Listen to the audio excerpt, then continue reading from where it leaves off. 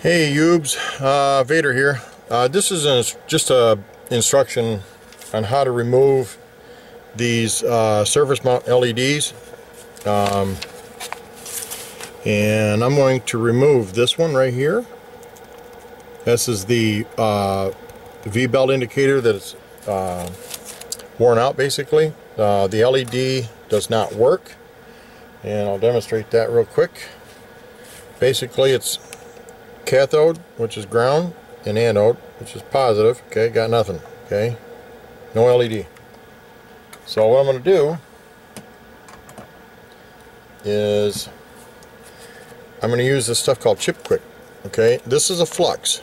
Okay, it's a flux pen. Kind of dab it just to get it started, and then you apply it to the to the solder each solder side. Okay, whether it be especially on surface mount uh, if it was uh, like a resistor, right here, let me get a little closer.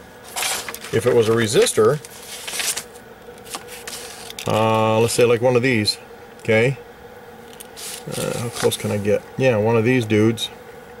Uh, you would do the same. You'd, you'd tap it, okay? Just soak it good on that contact and on that contact, okay? And what it does, put flux on there for the Chip Quik to adhere to.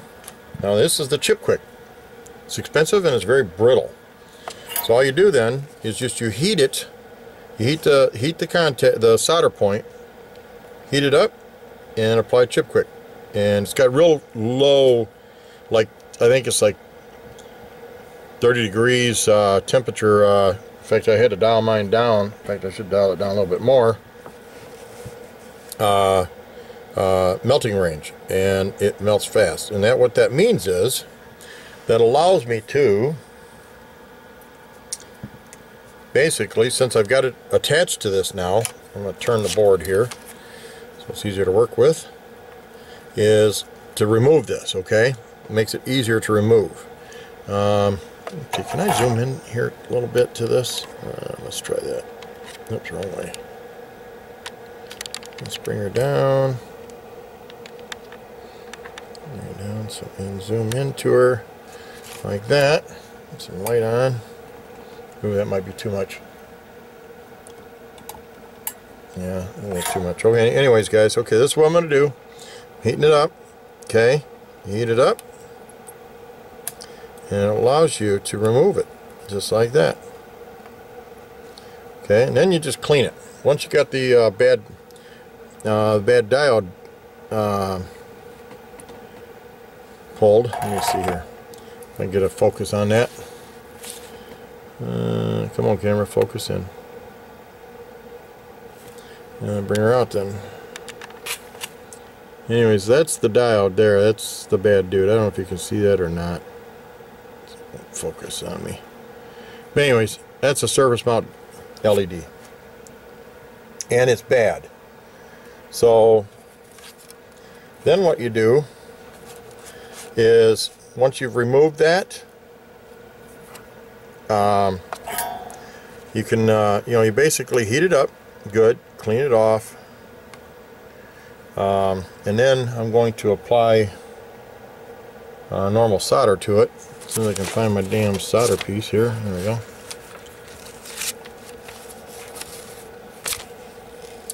Um, I'm going to apply some solder to this. And obviously solder is different. It works differently. So anyways, that's see now that's ready to uh, apply a new diode.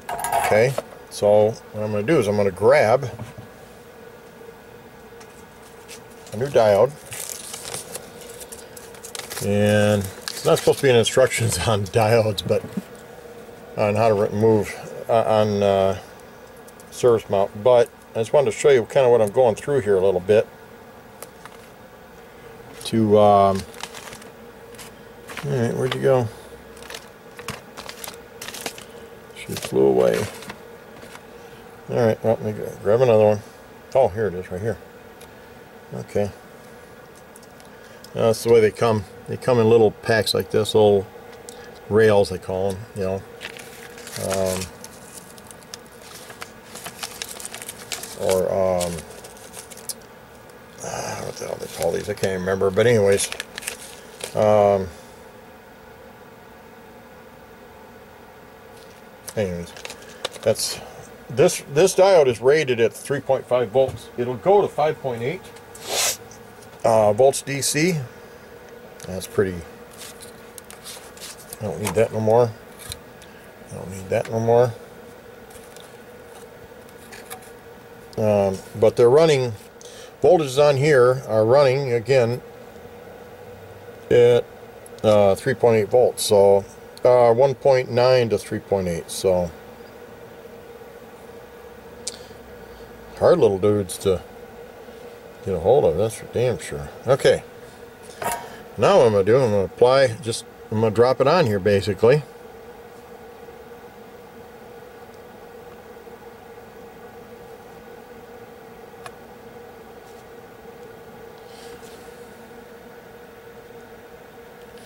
Okay.